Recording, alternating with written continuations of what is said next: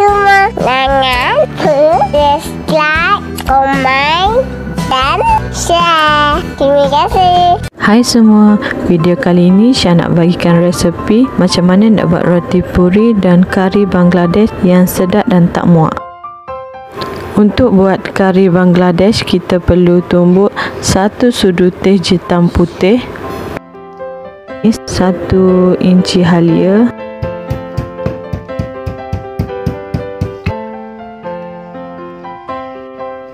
tiga biji bawang putih, tiga biji bawang merah,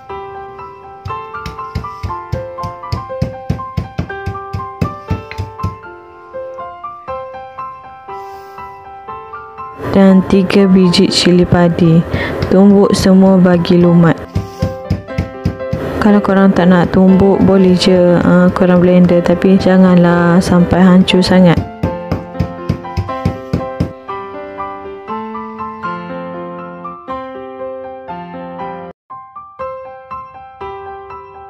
Masukkan semua bahan tumbuk tadi ke dalam ayam. Ayam ni saya guna dalam setengah ekor je.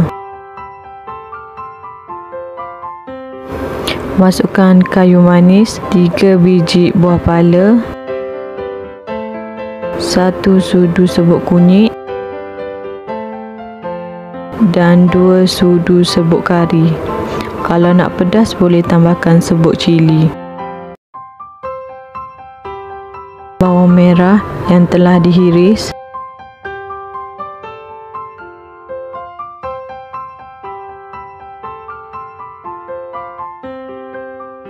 Dua sudu minyak masak. Masukkan garam. Garam ni letak sikit dulu. Kalau tak cukup nanti boleh tambah. Masukkan air. Dah gaul bagi dia sebati semua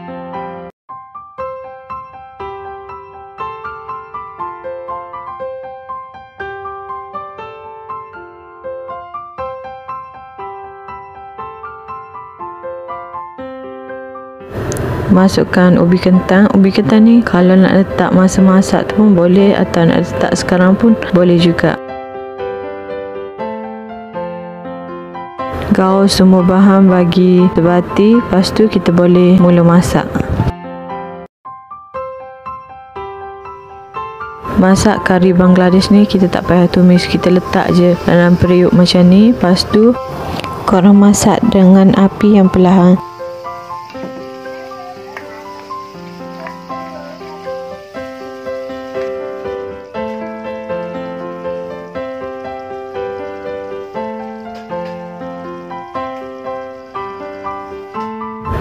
Masak kari ni dengan api yang perlahan hingga dia pecah minyak. Macam mana nak tahu kari kita dah pecah minyak ke belum? Minyak tu akan keluar di permukaan atas kari tu.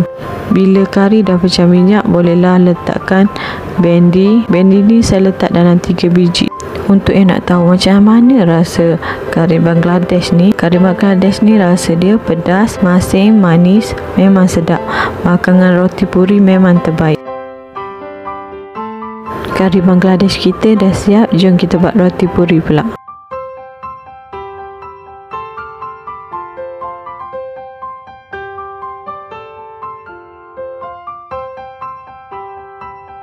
Untuk membuat roti puri ni kita perlukan 5 kad tepung gandum.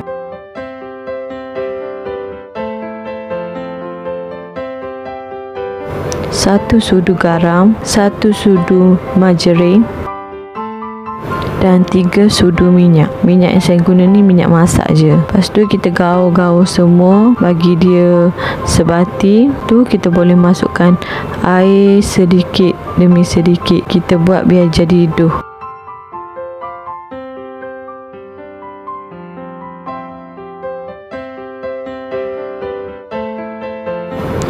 tahu macam mana nak nak tahu dia jadi doh tu. Bila kita dah gaul semua ni uh, tepung tu tak melekat dekat tangan kita.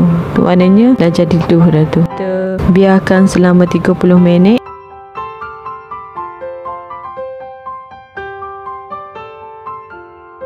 Lepas dah biar dalam 30 minit Kita bagikan dulu Untuk acuan yang saya buat ni uh, Kita dapat dalam 11 roti puri. Tu pun yang besar. Kalau nak kecil Kita boleh kecilkan lagi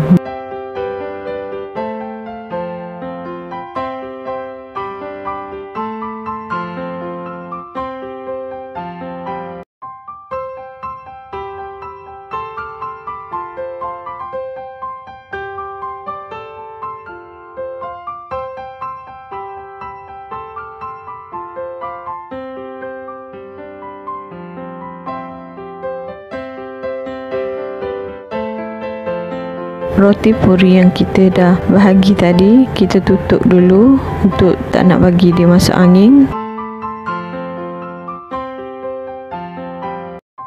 Kita buat dulu roti puri satu.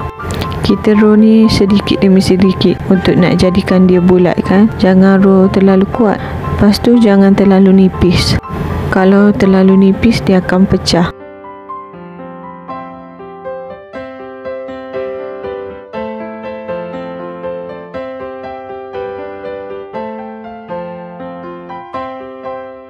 buat biar bulat macam ni.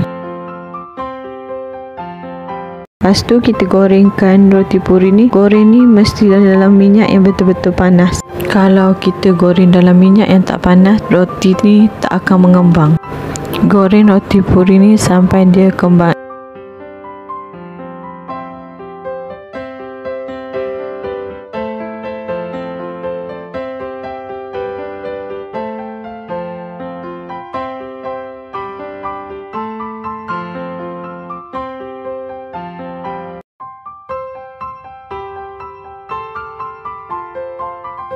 bila gelembung elok cantik macam ni dah boleh angkat dah jangan terlalu garing nanti tak sedap pula